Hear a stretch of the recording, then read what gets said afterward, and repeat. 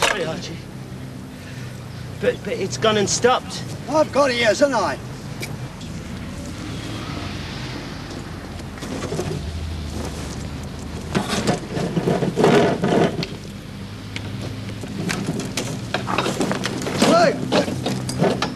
What's the matter with you? Put it down.